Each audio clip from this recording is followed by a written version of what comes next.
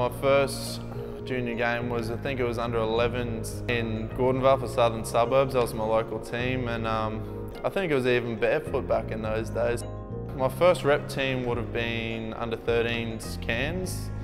Greatest mentor would definitely be my old man. He supported me from day one, never criticises my game when I know he probably should.